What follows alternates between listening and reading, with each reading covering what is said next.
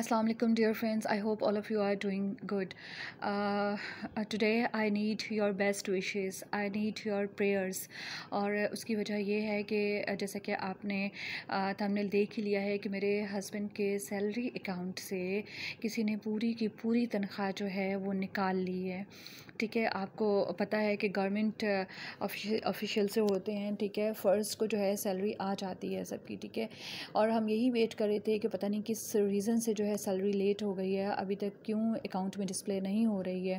اور آج صبح جب نکلوانے کے لیے گئے تو بھی وہاں سے کچھ پتہ نہیں چلا اور جب اکاؤنٹ آفس سے پتہ کیا تو انہوں نے کہا کہ سیلری تو آپ کی تھرٹی فرسٹ کو ہی ہم نے جو ہے وہ اپڈیٹ کر دی تھی سینڈ کر دی تھی، ٹھیک ہے؟ اور جب آگے پتہ لگایا گیا تو یہ معلومات حاصل ہوئیں کہ گجرات کا کوئی علاقہ ہے مانگا پیر اور وہاں سے یو بی ایل سے کسی شخص نے جو ہے یہ کارروائی کی اور ساری کی ساری سیلری جو ہے نکال لی ہے، یہ انتہائی دکھ اور افسوس کی بات ہے کہ آپ مطلب دوسرا بندہ جو ہے، اتنی محنت کر کے پورا مہینہ اس چیز کا انتظار کرتا ہے اور اس طرح سے جو ہے، کوئی اس کی ساری محنت کی کمائی جو ہے وہ لے اڑے۔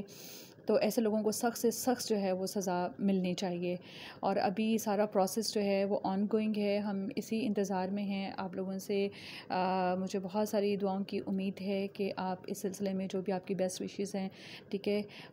وہ ضرور میرے سے شیئر کریں تاکہ ہمارا کام جو ہے وہ جلدی سے جو ہے وہ پائے تک مل تک پہنچے۔ اللہ تعالیٰ ہمارے لیے بھی آسانی کرے اور آپ سب کے لیے بھی جو ہے وہ آسانی کرے۔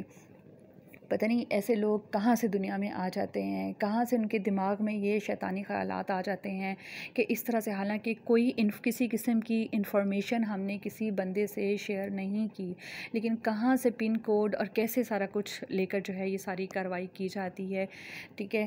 تو ایسے لوگوں کا کوئی نہ کوئی جو ہے نا وہ کریکر ضرور ہونا چاہیے، ان کا ضرور کریک ڈاؤن ہونا چاہیے کہ کس طرح سے یہ کسی کی محنت جو ہے وہ اس طرح سے ضائع کر دیتے ہیں، اس طرح سے لے اڑتے ہیں کسی کی پریشانی کا، کسی کے مسائل کا انہیں کوئی اندازہ نہیں ہوتا۔ گھر بیٹھ کر بس یہی سوچ رہتے ہیں کہ کس طرح سے کسی دوسرے کو ہم نے کریک ڈاؤن کرنا ہے۔ تو اس سے بہتر ہے کہ وہ اپنا شیطانی دماغ کسی اور کام میں لگائیں تاکہ شاید ان کا بھی اس میں بھلا ہو جائے۔ کیونکہ کبھی نہ کبھی وہ کہتے ہیں بکری کی ماں جو ہے آخر کب تک خیر منائے گی؟ تو کبھی نہ کبھی تو جو ہے وہ پکڑے جانا ہی ہے نا۔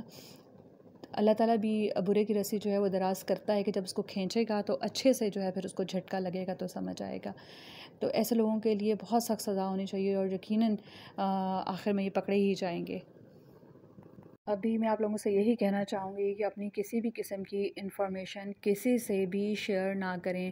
اپنی بینک ڈیٹیلز اپنی اکاؤنٹ ڈیٹیلز اپنی کسی بھی قسم کی آپ کی جو انفارمیشن ہے، ٹھیک ہے؟ اپنا آئی ڈی نمبر وغیرہ، کوئی بھی آپ کو اس قسم کی کوئی کال آتی ہے کہ ٹھیک ہے، ہم بینک سے بات کر رہے ہیں، آپ کی ہمیں یہ ڈیٹیلز چاہیے، وغیرہ وغیرہ، کسی سے بھی بالکل شیئر نہ کریں۔ اور میں آپ کو بتاؤں کہ حالانکہ ہم نے، میرے ہسبینڈ اس بارے میں بہت کیئرفل ہوتے ہیں۔ ہم نے ذرا سی بھی کوئی ایسی بھی ڈیٹیل یا ایسی کسی کال کو کوئی انفارمیشن نہیں دی لیکن اس کے باوجود ہمارے ساتھ ہاتھ ہو گیا۔